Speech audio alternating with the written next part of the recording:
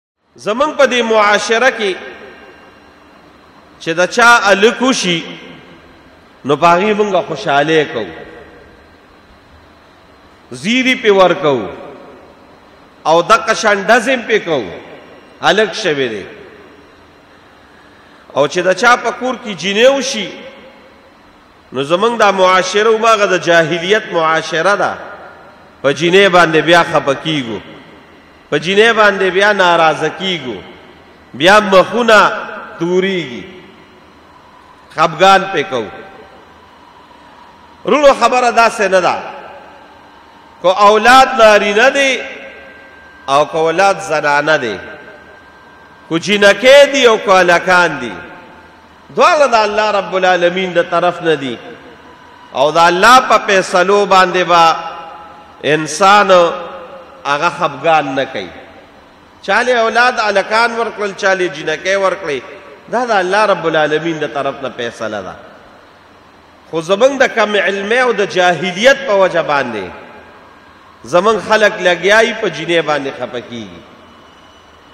نو نه به په الګ باندې بم شکر وباسي او په جنې باندې بم د الله شکر وباسي بلکې نن خبره تازه دا وایم چونکه دا زمون په دې معاشره کې دا ډېر لوی مصیبت دی چې هغه خزه تب خلک بیا د سپیرتوب تانی ور کوي خلک هم خپه وي لور مې شوې ده نو نن درته صرف مختصر شان د دې لور باره کې خبره کوم چې کو الله زوی درک هم په د الله شکر وباسه کولو یې درکا نو د زوی نه په زیات شکر وباسه ځکه چې زمونږ دین او اسلام لور لکم مقام ورکړی دی دا بل شریعت نه دی ورکړی نو زمونږ د پاره خو اصل زندگی د آخرت ته زمونږ د پاره اصل زندگی خو د قبر ده اوس په دې دنیا کې هر یو داسې عمل چې پاغي باندې زمون قبر خشته کیږي اخرت هم خشته کیږي او دنیا هم الله خشته کوي موږ باغه کار کوو چې زمونږ لپاره اصل مقصود اخرت دی نو اولاد چې ارسنګ وی نیک عمل وی انسان د پاره د آخرت لوی توخه ده خو د جنې متعلق چې کوم په احادیثو کې او کوم په روایتو کې راغلي دا د الک متعلق نه دی راغلی نو د دې د وجه تانه ورکول یو زنانه لا دا زموږ د معاشري ډیره سخت سنگینه ګناه ده بعضې زموږ په دې معاشره کې داسې هم دي چې د یو ښځې دویمه درېیمه څلورمه لور شي نو هغه ته بیا خاون غوسه وي حتی چې دا هم بنګوري دي دي ځکه دا مسائل خو موږ لرازي داسې یو زنانم راغلی دا چې موږ ته ویلي دي کور حالات مې وي خاون راته کو دا پیر دی لورو شو نو طلاق به درکو او داسې شي وی لورو دا زموږ د مولوی صاحب په دې تقاریرو کې هم دا خبره کوله او زموږ په دې اتمانزو کې دا شی شوو او هغه سړی زه پیژنم نوم یې نالم بس انسان دی غلطی کیږي دا غ پنځمه د کوشپګم لور وشو غالبا ناغه لور راواغشت او کوی ته گزار کړ او کو تاسو خیال کړو په دې سوشل میډیا باندې اوس تاسو یو نیم کال دوه کال شو په دې سوشل میډیا فیسبوک باندې یو ویډیو وایرل شوی و په شب قدر کې یو سړي لور وشوه نو هغه لور یې راواغېسته او بار یې په ټوکې وغورځوله دا اوس څه شی نو دا زمونږ د معاشرې لویه سنګینه ګناه ده چې لور ته موږ بد نسبت کوو اوس چونکې موږ د دین نه نه یو خبر د اسلام نه نه یو خبر لومبی خو د ټولو نه لویه خبره دا ده چې زمونږ او ستاسو په تقدیر باندې ایمان وي اوس کو دا نارینه دی او کو زنانه اولاد دی دا خو د الله د طرف نه دی دا خو یو الهي فیصله ده د الله د طرف نه راشي او الله اعلان کړی دی صراحتا اعلان یې کړی دی داسې هم نه چې یو مهمل اعلان یې کړی دی چې زمونږ او ستاسو ذهن په هغې باندې نه رسي او علما په هغې باندې رسي نه داسې الله اعلان نه دی کړی واضح الله اعلان کړی دی چې مې خوښه شوه لور به در کوم چې مې خوښه شوه زوی به در کوم کو مې خوښه شوه لور او زوی به داله در کوم او کو مې خوښه شوه د سره برله اولاد مې در کوم واضح الفاظ دي د پنځشتمې سپاره نو دې کې خود سره دا خبره شته نه چې دا یا د مور ګناه ده او یا د پلار ګناه ده دا خو د الله د طرف نه یو فیصله ده خو یاد ساته چې د زوی په نسبت باندې لور کېدل دا ستاده لپاره چې وسړی مسلمان وي د د لپاره ډیره بهتره خبره ده د ده لپاره ډېره ښه خبره ده، په دې باندې به لکه د زمانې د جاهلیت په شان مخ نه خرابوې، مخ نه تورېږې، ځکه په زمانې جاهلیت کې چې به د چا لور وشوه، قرآن شریف کې بیان دی، واذا بشر احدهم بالانثی ظل وجهه مسودا وهو کظیم، کله به یې چې پې زیری د لور وکړ، واذا بشر احدهم بالانثی ظل وجهه مخ به یې تور شو. وهو کظیم او د غصې نه به ډک شو الله وی یتوارا من القوم من سوء ما بشر به اے پټېده به د سره به بار ته راوتنه د شرم د وجې نو څه به وي ایمسکه علی هون یا خو د دې شرم د وجې به د کور نه بار ته نه راوته ام یدسه فی التراب او یا به پټ کړه په خورو کې مړه به کړه جمدې لوڼه به یې خښولې دا خو تاسو مشهور واقعیت دي هغه هغه اړخ ته نه ځما خو تاسو کتلی په زمانه جاهلیت کې به جمدې لوڼې خښولې دغه وخت چې دا کم وخت دا یو لوی رسم روانو چې لوڼه به یې خښولې لوڼه به یې وجلې دغه وخت کې رسول الله صلی الله علیه وسلم لا عمر لا لوڼه ورکړې وې حضرت فاطمه الزهرا حضرت زینب رضی الله تعالی عنها حضرت رقیه رضی الله تعالی عنها حضرت ام کلثوم رضی الله تعالی عنها نو د فاطمه متعلق رسول الله صلی الله علیه وسلم چې دغه وخت کې خلکو دا لونه جام دی خولې دغه وخت کې رسول الله صلی الله علیه وسلم یو اعلان وکړ وی فاطمه الزهرا بضعة مني، وایي فاطمه زهرا رضي الله تعالی عنها دا زما د بدن ټوټه ده، زما د بدن ټوکړه ده. اوس وروڼو که موږ د محبت په انداز باندې وګورو نو نبی علیه السلام څومره د مینې او د محبت اعلان چې دا د ما د بدن حصه ده حصه اوس د رسول الله شان ته ګوره او مقام ته ګوره نو د هغه د بدن ټوټه او حصه به کوم مقام لري دا خو د تاسو د محبت په انداز وګورئ، خو دې خوا تاسو د اعلان کلمت الله په دغه وګورئ چې هغه وخت کې چې لوڼه لفظ هم په خلکو بد لګېده، رسول الله مبارک وي فاطمه زما د بدن ټوکړه ده، دنیا ته یو واضح اعلان وکړ چې تاسو خو لوڼه خخوي دا زما د بدن ټوټه ده دا ځان ته رانږدې کې نو الله رب العالمین لور له هغه مقام ورکړ د زوی له نه دی ورکړی ګوره په دې حدیثو کې راځي درې قسمه فضیلت دی دی اسه تاسو هم په دې اخبارونو کې هم ګوره وی بیٹی الله کی رحمت ہوتی ہے وی لور دا الله رحمت ته رحمت څه ته وی دا الله فضل دا الله کرمونه دا الله احسانات یو دا وی دویم نمبر وی لور د جنت بشارت ته دا رسول الله مبارک ویلی او دریم نمبر لور دا د جهنم نه ډال دی درې واړه ته متعلق خبره کومه لور رحمت ته بیٹی اللہ کی رحمت ہوتی ہے سنگ رحمت ته وره په دې روایتو کې راځي اشرف علي تانوي رحمه الله دا لیکلي دي و یو ځل حضرت موسی علیه السلام د الله نه تپوس وکړ و یا الله ستا په بنده باندې څه کله مهربان کیږي په بنده کله مهربان شي چې د رحم او د کرم هغه دریابونه پې شروع کړي ته کله په بنده باندې مهربانيږي نو الله وتعالى زه په هغه وخت کې په بنده مهربان شم چې کله یو واده کړی سړي له زلور ورکم لور ولا ورکم په دز ډیر مهربان شم و یا الله د دین پس پچا باندې ډیر مهربان شي وې د دین پس په هغه چا ډیر مهربان شم چې دوی ملور ولا ورکم او یا الله د دې نه پس پچا باندې ډیر مهربان دی نو حضرت موسی علی السلام ته الله وی دا تا نبی بابا لیکلی دی وی د دې دریم ځل باندې د ډیر زیات هغه وخت مهربان شم چې زما د مهربانه انتها نوی نو زه ول درې ملور ورک نو موسی علی السلام حیران شو نو الله وته حیرانې ګما وی کله چې زه یو بندله زوی ورکم زویم د الله نعمت دی نیک عمله کله چې یو بندله زه زوی ورکم واده کړي سړي لا پلار لا مور لا زوی ورکم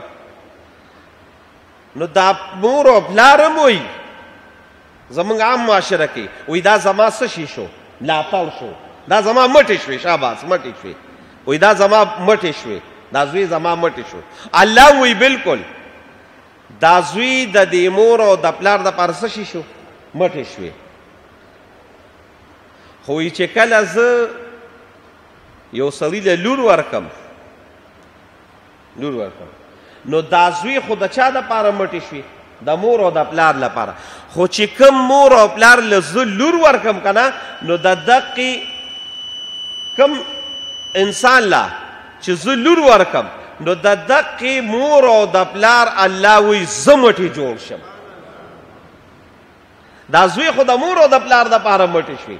خو د دې لور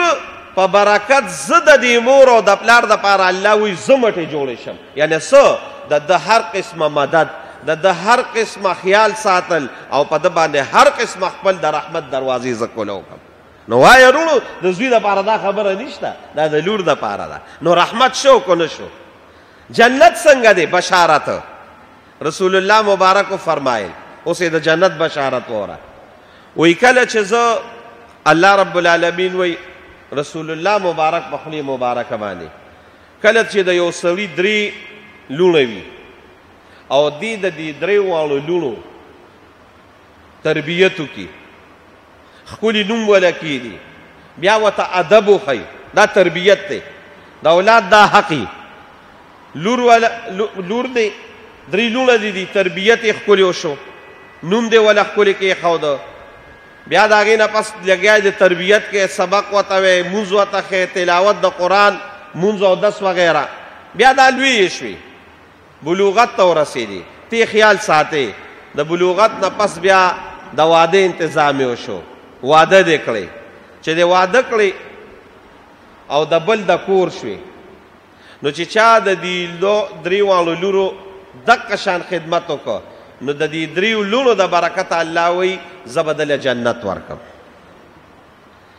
نو یو صحابي پاسې د یا رسول الله کو د چا دوه لونه وي وی کو اوم به دا فضیلت وي وی کو د چا یو لور وا وره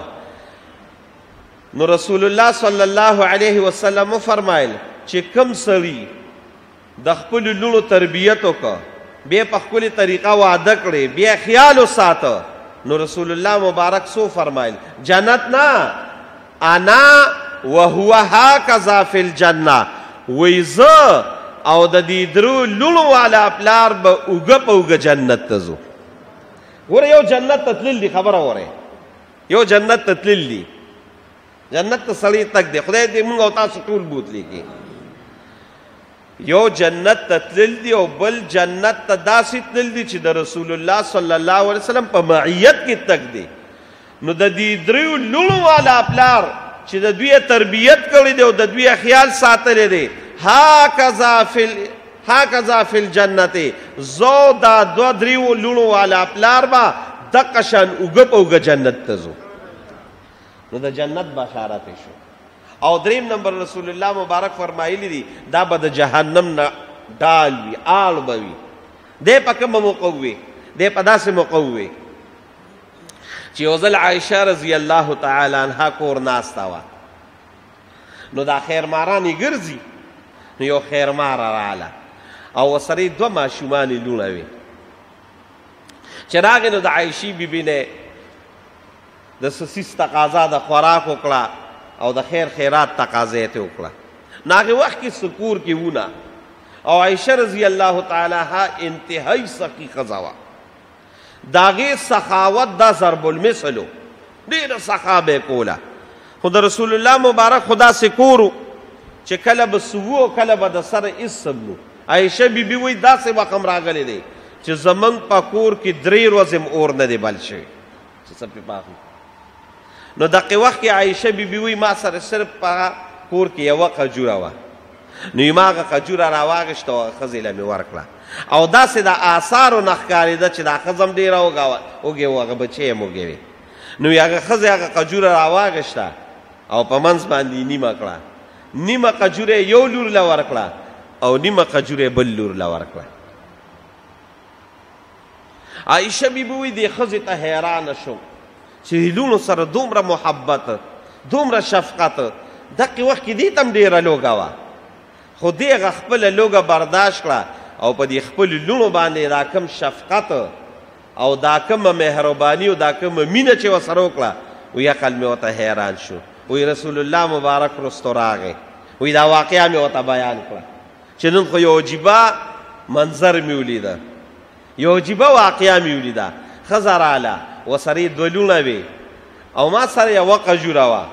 وایي ما هغه قجوره هغې ښځې له ورکړه هغه ښځې چې بیا کومه قجوره راغېشتې ده او یو لور له او بل لور له کم د محبت او د شفقت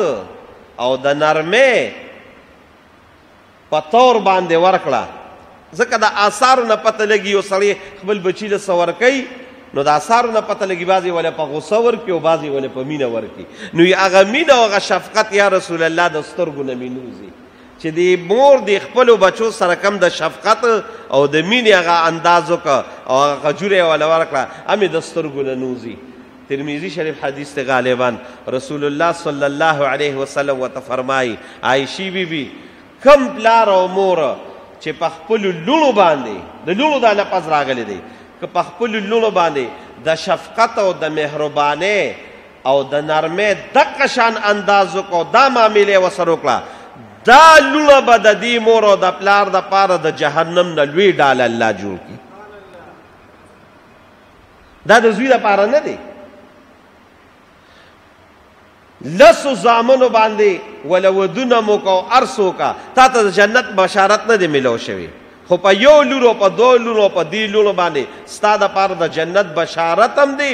او د رسول الله په معیت کې دی او ستا د پاره د جهنم نه بچ کیدلم دی او عالم جوړیدل دی او دا لونه جوړیږي نو لوڼه په خپل معاشرت کې رونو ګورې دا په ځان باندې بوج مګړې دا په ځان باندې زیاتی مګړې او په دې ګورې الله رب العالمین هم خپکی ډیر زیات خپکی زمونږ د علما یو خبره کوي دوی ویو د کافرانو په زمانه جاهلیت کې بدالونه دا به خخولې نو الله رب العالمین به د قیامت په ورځ چې عدالت ولګي دا لګي دا خبره یاد ساتي کله چې د الله عدالت ولګي نو په حقوق الله کې به الله رب العالمین لومبي تپوس دې خبرې ته لږ سوچ وکړئ په حقوق الله کې به الله رب العالمین لومبي تپوس د مونږ کوي لومبي تپوس چې زما واستانه حقوق الله کېږي په احکاماتو کې حج روجا زکات وغیرہ نو ړومبي تپوس په د مونږ کیږي کو د چا مو صحیح روته رسول الله مبارک وي ټول اعمال به الله رب العالمین به په دا خوشاله غ اظهار کی دا کامیابی غ اظهار کی کامیاب وي حکومت غلط روته یا موږ کې څه چلو شو موږ کې کوتاواله راغلو یا موږ چا کړی نه دی یا با جماعت کړی نه دی اوس حضرت شیخ صاحب راغلو مولانا فخر الاسلام صاحب یو ناشنا خبره وکړه دا مرګري ناسمو وې د یو سړي شیطان سره ملاقات شو نو شیطان ته وی چې ته په کم سړي باندې ډیر زیات تعالی خوشاليږي او تا هغه ځان له دوست جوړی او هغه ځان له مرګري جوړی او داغه نه خوشاله او هغه ستانم زیات وي د شیطان نم زیات وي نو هغه وته وی چې دوه کسان وی کم دوه کسان وی یو چې څوک یو چې څوک په دروغ نه په دروغ نه اسه عام خبره وی عام خبره عام خبره می او قسمونه په زیات خوري په دروغ نه پرشتیو خبرو باندې خو زیات قسمونه خوري دا وی زمانم زیات دي چې لا په دروغ خوري چې بل څنګه ما تاسو ته مخکې ویلو چې دروغ قسم ګوري دا ډیره عظیمه ګناه ده الله دته د رحمت په نظر باندې نګوري اسی پرشتیو باندې قسمونه خوري شیطان وی دا زما نم زیات دی قسم ناکاره څیز دی او وی دویم څیز کوم یو دی چې هغه ستا نم زیات دی وی دویم هغه کس دی چې با جماعت مونځ نه کوي په جمع سره مونځ نه کوي دا زما نم زیات دی نو مونځ رو یو اهم عبادت دی کې به په صحیح طریقه به کې با جماعت به کې د منز ارکان د منز افعال د منز قوما د منز جلسه د منز قراءت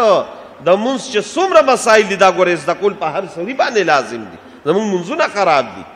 نو چې منز صحیح روته د د بټول اعمال صحیح روزي نو په حقوق الله کې زما محترم ورونو لومبي تپوس د منز کیږي او په حقوق العباد کې به لومبی تپوس دا د قتل کیږي او زما یو خبره تاسو ته یو مطلب مې دی دی کې د قتل مقدمه به لومبی کیږي لومبی به الله قاتل راولي اوس په دې دنیا کې ډېر قتلونه شوي دي په کرولهاو زمونږ په دې ملک خلا بل شان روان دي دا وګوره څومره لوی لوی علما پکې شهیدان شو تیرو ورځو کې تاسو ته پته لګي ډیر لوی عالم علامه ډاکټر عادل خان صاحب چې زمونږ د یو ډیر لوی د دارالعلوم دیوبند یو ډیر لوی عالم جناب شیخ سلیم الله خان صاحب دا غزوی او هغه بل ورځ شهید کړي دا سنور په دې خپل معاشره کې وګوره قتل او غارت څومره دي نو لومبي تپوس په د قیامت پر ورځ د قتل کیږي اوس د کم قتل بکیږي نو زمونږ د علما وی وی د قتل لومبي مقدمه چې راځي نو هغه به عام د سلو نه راځي د قتل لومبي مقدمه چې الله د قیامت پر ورځ عدالت تراولي زمونږ علما وی نو دا چې چا لونه وجلی دی هغه براولي چا چې لوڼه خخې کړي دي جم دی چا چې لوڼه وجلي دي په دې خپله معاشره کې مو ګورئ نو دقه سړی لومبې به ده او اوس الله په کم انداز وکي د انداز ته ګوره دی پورې ته خبره کو په کم انداز به الله د قتل دا فیصله کوي قاتل او مقتولا چې کم پلار قتل کړی دا یا چا قتل کړی دا پلار دا به یو وخت ولاړ یو غلور به بل وخت ولاړ اوس چې قتل شوی وي نو خلک د پاکستان په پا عدالت کې چې کله قتل شوی قاتل راولي الکه دا قتل دی ولې کړی دی نه هغه وایي یا ما کړی دی یا مې نه دی کړی که کړی مې دی د دې وجې مې کړی د دې وجې مې کړی دی یا مې نه دی کړی د خپل دغه اعلان وکړي اوس چې د الله په عدالت کې کله د قپلار او د لور دا را یوځای شي نو الله په قرآن کې وایي و ازل موعودت سئلت دا سیات سورته تکویر کې دی و ازل موعودت سئلت الله به د هغې دوه نیمو کالو د یو نیم کالو یا د شپږو میاشتو یا د دوو کالو د هغې ماشومې نه به الله تپوس کوي چې ته ولې قتل شوې اوس هغې ماشومې ته څه پته لګي ماشومه خو دقه وخت کې په ځان هم نه ده اخو نه پیږي مشهور واقعیا تاسو اوریدلې ده یو صحابي نبی علی السلام لرازي او یا رسول الله ستا په مونږ ډیر لوی احسان دی او جالي ولی نو بیا وت خپل واقعیا بیانې چې زما د قشالور وا او تاسو اوریدلې د مشهور واقعیا دا ما را وستا نو زمونږ د علما وی یو پکې دا نقطه موره وی چې کله د پلار د دی لور د پاره هغه کوي کنه او کنه نو عربو کې ګرمي ډیره ده عربو کې ګرمي ډیره ده نو دا پلار به لګدا سراغ چې دی لور له بيدا کندو دغه کړه نو ګرمي براله نو خولي بر نو دا لور براله او دا خولي به ول په خپل من ولا من باندې دا پلار دا وچو لور ته خدا پته نه لګي چې دا مونږ ولي وجلی شو نو الله به د لور نه تاسو کوي قران کې وایي زل موعوده سئلت دا لور نه به تاسو کې ته پس قتل شوی نو زمونږ علما وی د دې پلار نه ولې تپوس نه کوي وی الله دا مې دې پورې تاسو خبره وی الله نن دومره غوسه دی په دې لور په دې وجلو باندې دومره غوسه دی چې الله رب العالمین دې قاتل ته د غضب په نظرم نه ګوري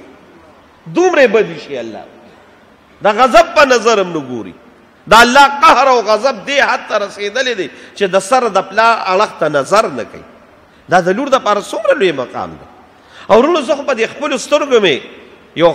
خبره ولیده دا لوڼه چې کوم ځای خخوري که نه نو تاسو د الله مکې مکرمې ته بوتلی کی مکه مکرمه کې چې په دې باب فهد باندې تاسو روزئ نو مخامخ یو بلډینګ دی یو خو د غړې دا بلډینګ دی کنه دا باب عبدالعزیز ته مخامخ دی دا لوی بلډینګ دا غړې چې د پکې دی باب فهد ته مخامخ یو بلډینګ دی دار التوحید وته وی ښکلې مزیدار بلډینګ دی د دې بلډینګ شاته چې لږ شان تقریبا داسې د یو پنځو منټو فاصله باندې لار شي نو دقلته وته یو جرول یو ځای دی جرول الته یو میدان دی نو ټول غیر چاپیره تی بلډینګونه دي غیر چاپیره دا اجرول کې دا میدان نه بلډینګونه دي او الته بلډینګ نشته نو زمونږ د دې عثمانزو زمونږ یو مرګره دی هغه نه ما ته وایي دلته بلډینګونه ولې نشته وایي دا هغه ځای دی چې کوم ځای کې به دې کافرانو خپلې لوڼه ښخولې نو دا هغه میدان دی نو هغه ما ته وی وی د دې یو انجینر راته خبره کوله دا خبره ډیره د غور ده وایه وی د دې هغه انجینر راته خبره کوله عرب خدا سه خلق دی دی موجوده وخت کې په دې وجه زمونږ دا یو ډیر لوی عالم دی مولانا تقی عثماني صاحب داغه یو بیان ما اوریدو کته می ناغه یو ځکه په جلا شو و یا رب واقعي دا حرمینو ډیر خدمت کوي دا دې کې شک نشته عرب چې کم د حرمینو خدمت کوي په مخ د کائنات کې به داسې خدمت د حرمینو شریفینو څوک هم نه کوي ډېر خدمت کوي خو د عربو د مشرانو یو لوی کوتاهي دا د په دې هغه په جلا شو چې ډیر زیات داسې تاریخي ځایونه او هغه هغوی ختم کړل نوم او نشان یې وله ختم کړ ډیر داسې ځایونه رسول الله مبارک چې معراج ته د کوم ځای نه تللی و هغه ځای موجود و مولانا سنجان صاحب وی باقاعده هلته د ترکو خلکو لیکل کړو چې دې ځای نه رسول الله مبارک معراج ته لاړ هغه ځای هغه ځای غوی ختم کړی دی دارون ندوه چې کوم ځای کې به کافرانو میټینګ کو باقاعده هلته لیکل شو چې دا هغه ځای دی هغه غوی ختم کو دار ارقم چې کوم ځای کې نبی علیه السلام لومبي پیغمبري ملو شه او لومبي صحابه مدرسه جوړه شوه دار ارقم هغه ځای باندې باقاعده بورډ لیکل شو هغه ځای ختم کو خو یو وخت خبره سیم ده چې تقیسواری صاحب یو خو بل وخت یو بل خبره وره یو دوه کاله مخکې موږ مدینه منورې ته تلو نو د قبلتین وته وی دقل ته د عثمان رضی الله تعالی عنہ باغ دی او دا سه باغ دی وایرا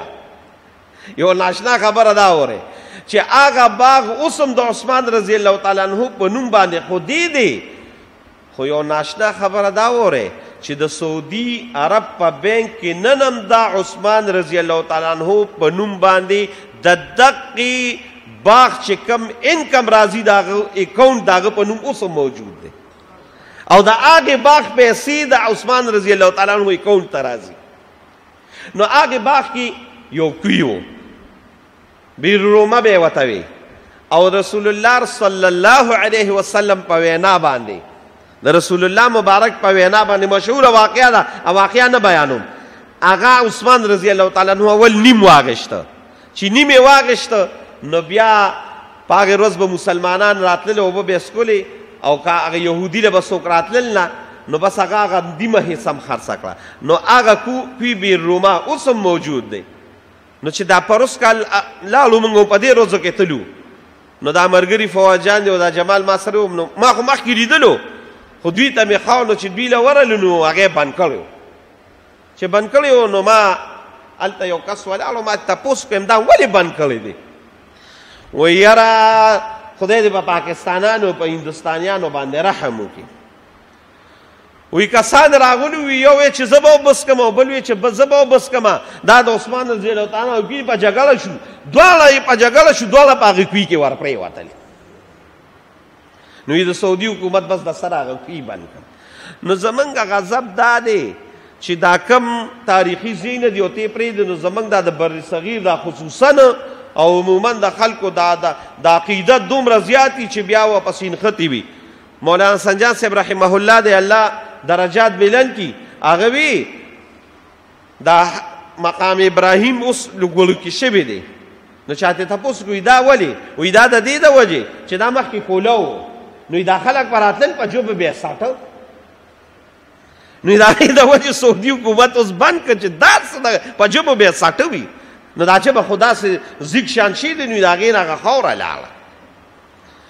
نو کو یو لخت ګورو نو ټیګي کړی دی کو بل لخت ګورو نو سړی خپم شي په بهر کې زموږه خبره مقصد دا چې سعودي حکومت د دې تاریخي زینو صدا سه خیال نه ساتي او دا میدان را بند کړی دی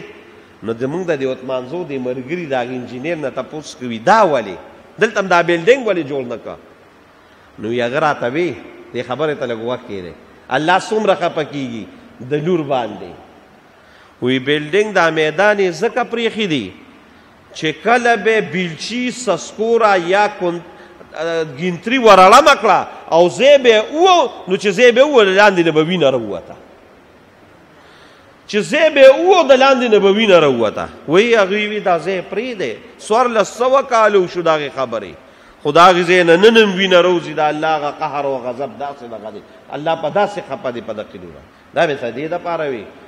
چې رونو دا الله رب العالمین د لونو د د چا کوم دا څومره محبت دی څومره مینه ساتي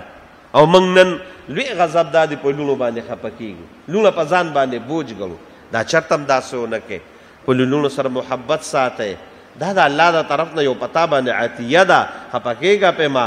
دا خدا الله ورکړه دا او چې دا الله ورکړه دا د دې پوره خیال ساتي د دې وجه زموږ د علما وي زموږ د علما اس خو اسلام حق زوی له زیات ور کړی دی چونکه هغه الګ دی داغه بیا یو دغه دی خو چې کله کور ته راشه او کور ته یو د خصیز دا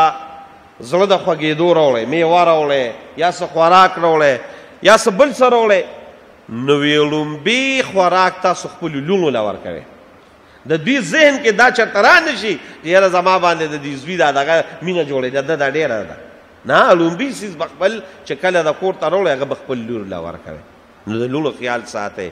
لون سره مینه محبت ساته دا زمونږ د پاره د جنت لوی ذریعہ ده دا موږ د پاره د جن... د جهنم د لړکول لوی ذریعہ ده پورا خیال ساته حق ولا ورکه حق یې څه دی حق د دې دا د ښکلي تربیت یې وکړه بیا د هغې نه پس د واده انتظام وله وکړه او د واده انتظام وله داسې وکړه چې کم د دې کوفي یعنې د دې برابر سړی وي هغې سړي له یې ورکړه ډیر لوی داسې نیچ دغه کې مه ورکوه او ډیر اعلی دغه کې مه ورکوه برابر چې کم د ستا د سټیټس مطابق وي هغوی له ورکوي همزولي له ورکوي یا د هغه نه لږ مشر ورکوي زمونږ په علاقو کې دام لوی غضب دی د پنځوستو کالو سړی به وي او غلبه د پنځلس او د شپاړسو کالو لور ورکي دا وګوره دا زمونږ بعضې پښتانه دا شي کوي په پنجابیانو باندې خرڅ کړي دا لوی ظلم دی ګورئ د اصیلې ښځې خرڅول دا انتهایی لوی ظلم دی سخته ګناه ده بلکې په احادیثو کې راغلي دي کم سړی په لور باندې پیسې الی لکه زمونږ بعضې خلک الی او په هغې بعضو کې بعضې داسې چې خاص خلک هم دي هم الی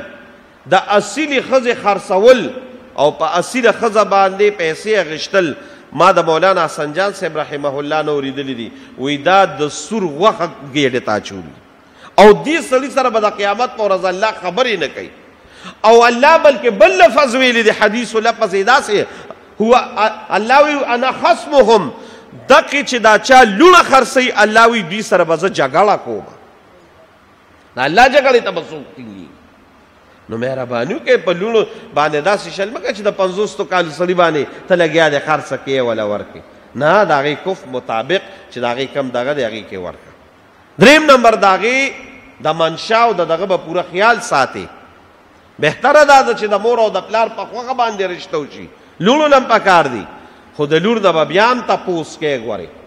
زمونږ په دې معاشره کې دام لوی غضب دی د لور نه څوک تپوس نه کوي پوښتنه ته نه کوي بس ور مې کړی هغه بیا خوخي یا بني خو دا خو د دین دا دغه ده چې اناکه راغب والمنکوحه مرغوبه سړی او خزا دواړه به د یو بل هغه خوخي ته ګوري اناکه راغب والمنکوحه مرغوبه باقاعده الفاظ راغلي د سړي به هم رضا ګورې د هلک به او د ښځې به هم رضا ګورې موږ نه د هلک رضا ګورو او نه د ښځې رضا ګورو نو دا ښځې نه به د جینۍ نه به د خپل لور نه به باقاعده د چا په ذریعه باندې تپوس کوی او کوم نه که نو بیا تاسو په خپله معاشره کې وګورئ سړی بیا پې وشرمېږي بهتره دا ده بهتره زه لوړو خویندو ته دا خبره کوم چې د مور او د پلار په فیصلو باندې آمنا او صدقنا وای او اکثر زمونږ پښتني مېرمنې دا چل کوي چې مور او پلار یې سوی هغه کوي ای کې فیدم دی روي ای کې برکت هم دی روي خو بهر کې کو یو لور او نه منله نو د مور او د پلار د پاره دا پکار نه چې دا په زور باندې ورته نو دریم نمبر حق یې دا دی چې کله یې رشته کې تپوس ترې کوه څلورم نمبر حق یې دا دی چې کله د دې په جایداد کې څه حق وي یا یې په وراثت کې څه حق وي هغه ولې پوره ورکوه ګورې زمونږ د معاشرې او خصوصا د پښتنې معاشرې دام لوی غضب دی دام لوی بخبختی دا چې موږ له خلور خور لپا جیدات کې حصہ نه ورکو او لګیا یو منځونه بم کو او عمرې بم کو او حجونه بم کو او نور بم نه کال تسبیح بم راغشتي وي بهتره ده دا د خبره ده منځونه هم خصیص دي روزي هم خصیص دي حجونه او عمرې هم خصیص دي خو د لور او د اخور حق هم دا غوړي اهم ده چا چې رسول الله مبارک وي لور او خور د حق نه محروم کړه چا چې خپل لور او خور د حق د جیداد نه محروم کړه د وراثت نه محروم کړه رسول الله مبارک قسم خوړلې دي چې الله رب العالمین وایي چې زما دې په خپل خدای باندې قسمی چا چې خپل لور او خور د وراثت نه محروم کړه الله قسم خوړلې زبدي د جنت نه محروم کړه مهرباني کوي د لور او د خور پوره حق ورکوي او کو دغه د لور او د خور پیسې دی راواغشتي هغه ته نه بخي هغه ته وراثت هغه دغه نه بخي د جیداد هغه حصره ته نه بخي او ته په لاړې خوراک دی پیروله یو لخت ستاده پاره حلاله غوخه پرته ده او بل لخته د خنزیر غوخه پرته ده چې د دې لور د خور د لور او د خور د حق په پیسو دی روړي وي د خنزیر غوخه او دغه غوخه یو شان حیثیت لري دا د خنزیر غوخه ګیر تر رسول زمونږ د دې اشنغر باز خانان بعضی لونه خويندې د دې د وجه واده نکړي چې دوی له بیا مونږه حق ورکو دا څومره لوی ظلم دی او کم سړي دا چل وکړه دا خو زموږ د معاشره کې عام هم تاسو وینئ الله رب العالمین به چرتم دې شته نه کړي د دقې جایداد نه به الله رب العالمین محرومه کړي خلاص به یې کړي موږ په خپله معاشره کې ولیدل چې کم سړي د خپل لور حق وروالی دی د هغې جایداد نه هغه الله رب العالمین محرومه کړی دی نو مهرباني به دا وي چې د خپلو لوڼو کوم د جایداد حق دی هغه وله پوره ورکړي کوم د هغوی د وراثت حق دی هغه وله پوره ورکړي نو لور دا د مور او د پلار د پاره لوی مقام لري لوی مرتبه لري زه د لوڼو د پاره دا خبره کوم چې څنګه ستاسو سره د دې مور او د پلار مینه ده او محبت رساتي تاسو د دې مور او د پلار د عزت خیال ساتي غوري د هغوی د ناموس خیال ساتی ډېرې ښځې او ډېرې لوڼې او ډېرې جینکۍ داسې وي چې د هغوی د عزت شملې د پلار وي هغه وله ښکته کړي مهرباني کوي د دقې نه ځان ساتي نو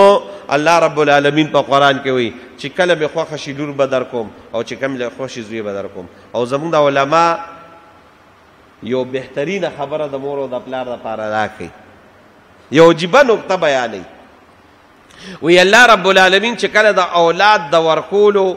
فیصله وکړه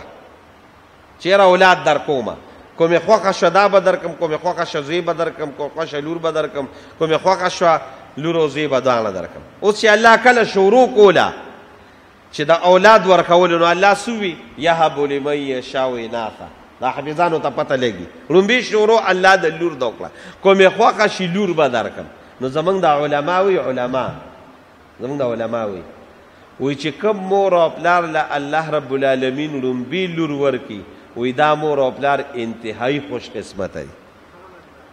ځکه الله شروع د لور دوکړه دا انتهایی خوش قسمت دی او د لور نه بار الله رب العالمین خیر درکړي د دې څه پته لګي ته خو زوی زوی زوی خو کو دا زوی را الله درک او بیا دې را سبا دا بدنامه ذریعہ جوړیږي او استاد لپاره بدعمل زوی جوړ شي د سپیو کې هغه یو لور ته بیا ډیر راخه ده هغه دوه لور ته بیا ډیر یې نو دا زمونږ استاد لپاره د معاشري دا یو د عزت سیز دی دا په ځان باندې بوج مه ګڼئ نو مهرباني وکړئ چې د کومو کسانو دا د دې د وجې چې بله ورځ یو زنانه راغلې وه نو چېرته لور به د هغې درې مسلو رمه شوي نو یې د کور د مې وباسي نو ما یې داسې دی نه کوي دې دې پې خوشحاله شي چې الله رب العالمین تعالی اولاد درکړه دا شکر وباسه چې د انسان نه انسان پیدا شو ولې کو الله رب العالمین وغواړي نو ارس کولی شي د خدای شکر په وباسه دا اولاد بم ستاده پر الله رب العالمین د جنت لوی ذریعہ جوړ کړي دا اولاد بستا د پاره الله رب العالمین د دنیا د رزق د فراخې لوی زرجه جوړه کړي نو د چا لونه دي الله رب العالمین دی داوی په عزت او ناموس کې نور هم اضافه وکي او چې د چا لا الله زامن نو زامن هم یو نعمت دی زامن هم نارینه لوی نعمت دی د چا زامن نه وي الله دې ولا نارینه اولاد ورکړي نارینه اولاد هم یو لوی نعمت دی د انسان نسل د هغې نه خور شي نو د چا اولاد نه وي نو ما تاسو وی چې دا الله دا معاملې ځان سره یې خدا او زمونږ د علما وای زمونږ د علما او خصوصا زمونږ د دارالعلوم دیوبند یو ډیر لوی عالم دی شان ورشا کشمیری رحمه الله دا غنوم دی ډیر لوی عالم دی او په دې بخاری شریف شرح هم لیکلی دا نو هغه یو نسخه ښولې ده یو وظیفه یې ښولې ده چې د چا نارینه اولاد نه وي نارینه اولاد نه وي نو دې د صرف یو دوه کارو کې درې کار دی یو خو په دې معامله کې د الله نه دعا غواړه ځکه دعا داسې شی دی چې دا د انسان تقدیر بدلی او په دعاګانو شویم دي موږ د پاره د ټولو نه د رهنمایۍ لوی څه شي دی قرآن دی قرآن تاسو قرآن راواله د بعضې پیغمبرانو اولاد نو نو الله ته سوالونه کړي دي لکه د ابراهیم علیه السلام الله نه سوال کړی دی د قشان حضرت زکریا علیه السلام الله نه سوال کړی دی قرآن شریف کې دی اذ نادا ربه نداء خفیا الله ته جلاګانې شروع کړې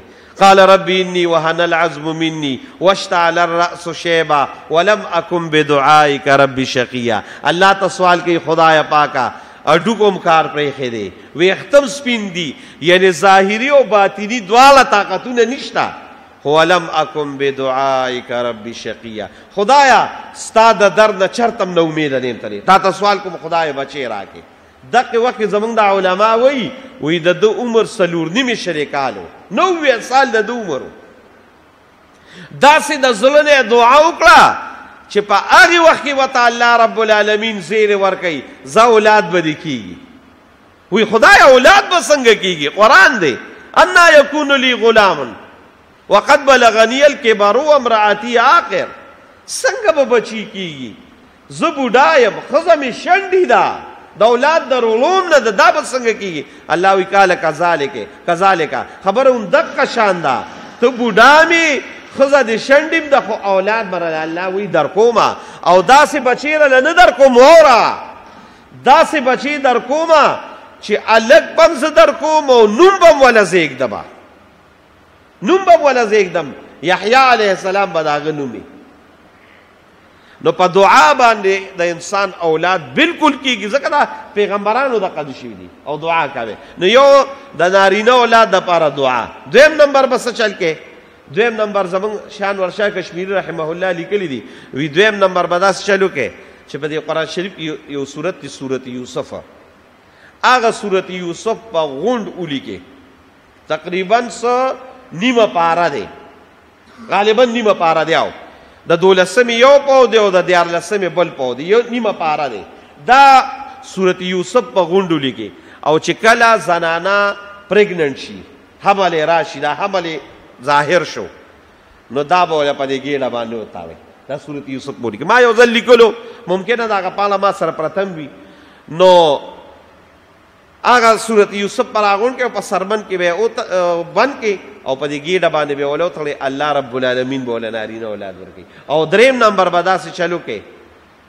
چې کله دا زنانه حمل راغی نو دغه وخت کې به په دې ځل کې دا مصممه اراده وکي مصممه چې کو الله رب العالمین د دې حمل نه مال نارینه اولاد راک نو د دې نارینه اولاد نوم به محمد اګنم الله ورله خامخا درکړي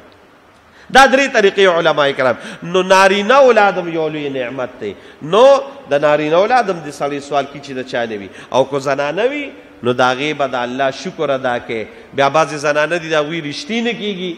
نومدین شان ورشا کشمیر رحمه الله دا د سم خو له چې کمی زنانه رښتنه کیږي د دې لپاره مور او پلار بعضې وخت پریشان وي مونږ ته مو وایي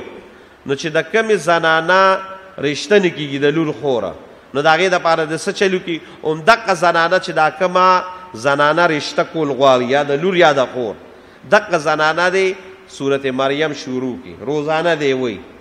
الله باول وو روزو کې رشته راولي کو وو روزو کې ني یو اشتمه باندې براشي په سورلسمه کو په سورلسمه نی په یوشتمه او کو په یوشتمه نی نی پاتیشتمه او کو پاتیشتمه نوی نو په پنځه دیرشمه کو په پنځه دیرشمه ورځ نوی نو ان شاء الله په سلوختمه ورځ به الله دی لقامخه د حیا او د عزت رشتہ ورکي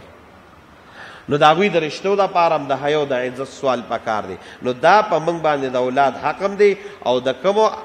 پلارانو د کومو روڼو چې لوڼو شي په دې باندې د سره یو زرم په دې زړه کې خفګان را نه ولي که خفګان دې راوسته دا فضیلتونه بیا نشته نه د پاره د رحمت دروازه شته چې الله دې مټي جوړیږي نه د بیا د جنت بشارت شته او نه د بیا د جهنم نه د بچ کېدو شته او که په دې خپل لونو دې صبر وکړه او داسې صبر دې ونه کړه چې د دوی د خپل تربیت او په دوی باندې خوشاله د دوی د حقوقو دی پوره خیال وساته الله بر د رزق دروازې هم کلو کی الله بر ته د جنت دروازه هم کلو کی او الله بر ته د جهنم دروازه هم بند کی خدای پاک دې چا لونه وی الله رب العالمین دې په حیا او په عزت کې دا غوي جون تیر کی او په حیا او د عزت کې دې د خپل کورونو خاوندان کی او چې د چا اولاد نه وی خدای پاک دې ول ام نارینه اولاد ورکوم زنانه اولاد ورکی واخر دعوانا الحمدلله رب العالمین درو شریف وایي